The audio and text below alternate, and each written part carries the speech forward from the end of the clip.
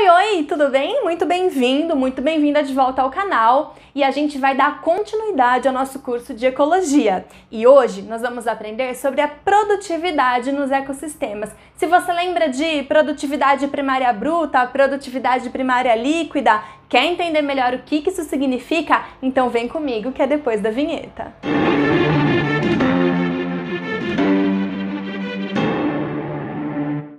Então vamos lá, a gente vai falar hoje sobre produtividade. Eu coloquei aqui uma definição que eu considero simples para você entender bem direitinho o que, que significa essa produtividade no ecossistema. Então eu coloquei aqui, ó, incorporação de energia na forma de biomassa acumulada nos organismos a partir dos produtores. O que, que significa isso trocando por miúdos? Significa que os organismos produtores, através da luz, da presença de luz, conseguem fixar o gás carbônico na forma de matéria orgânica, né, que a gente chama ali de biomassa. E essa energia na forma de biomassa, ela vai sendo transferida ao longo da comunidade, lembrando que a cada nível trófico a gente tem uma perda dessa energia na forma de calor e é por isso que a gente diz que essa energia ela não pode ser reciclada em um ecossistema, ok? É importante a gente sempre lembrar que o processo de fotossíntese ele é responsável por transformar a energia luminosa em energia química. A energia luminosa, então, é a luz que chega nesse sistema e a energia química é a matéria orgânica que vai ser formada a partir do processo. Bom, um organismo produtor, ele produz, assim o nome diz, né? Ele produz uma determinada quantidade de biomassa, de energia. E é pelo fato dele ser o produtor, o primeiro cara de uma cadeia alimentar que está produzindo essa biomassa, a gente chama de produtividade primária bruta. É aquele total de energia que está sendo produzida nesse ecossistema ao longo dessa cadeia alimentar. Essa energia que foi produzida, então, ela vai passando ao longo dos níveis tróficos e a gente já vai lembrar um pouquinho como acontece isso daqui.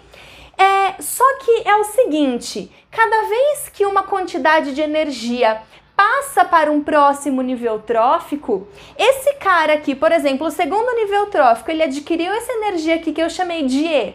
Parte dessa energia ele usou para o seu próprio metabolismo. A outra parte ele perdeu na forma de calor. Então vai restar uma energia que eu chamei de E1 e a gente já sabe que E1 é menor do que E e essa energia que restou, eu vou chamar de produtividade primária líquida. E é justamente ela que vai ser transferida para os demais níveis tróficos. Então vai acontecer isso daqui. Essa energia E1 que é a produtividade primária líquida nessa primeira situação, vai ser transferida para o terceiro nível trófico, que vai consumir parte dessa energia para o seu próprio metabolismo, vai perder na forma de calor e vai ter um restante ali, vai sobrar uma energia que a gente vai chamar de E2. Lembrando mais uma vez, E2 é menor do que E1, ok? Porque parte dessa energia ficou aqui. Essa energia vai ser transferida para o quarto nível trófico e assim por diante. Então, essa produtividade primária líquida, ela tem que levar em consideração a taxa que foi utilizada pelo, pelo organismo para produzir o seu próprio metabolismo e a taxa que foi perdida na forma de calor. E é por isso que a gente monta essa formulinha aqui, ó. A produtividade primária líquida é a produtividade primária bruta, ou seja, o total que ele recebeu tirando a sua taxa de respiração, que é o que ele consome no seu metabolismo e o que ele perde na forma de calor.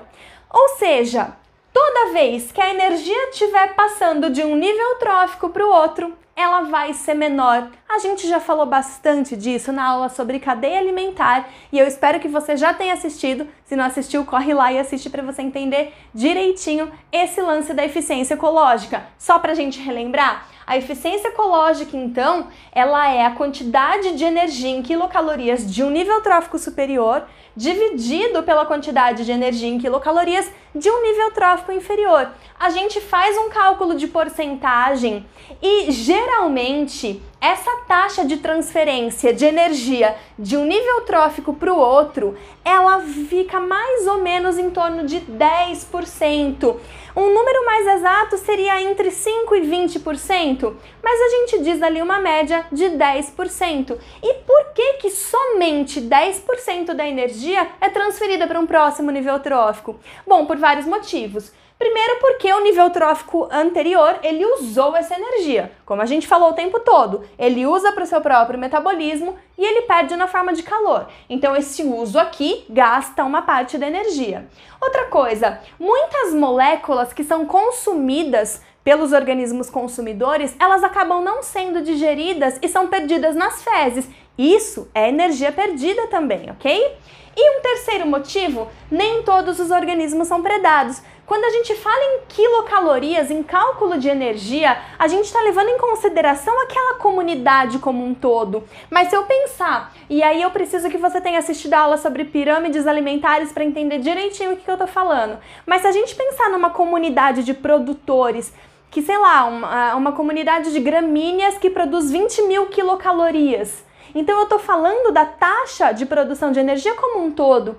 Só que os consumidores dessas gramas, dessas gramíneas, eles não vão necessariamente comer essas 20 mil calorias, eles não vão devastar a, a plantação, eles não vão devastar aquelas gramíneas. Então nem todos os organismos são predados. Então é por isso que a gente não conta aí com esse total de energia que foi produzida. Bom, gente, produtividade num ecossistema é isso, eu espero que tenha ficado claro. Se você tiver qualquer dúvida, escreve aqui pra mim que eu vou ter um prazer em te ajudar. Por favor, comenta se você gostou do vídeo. Um beijo, bons estudos e até a próxima!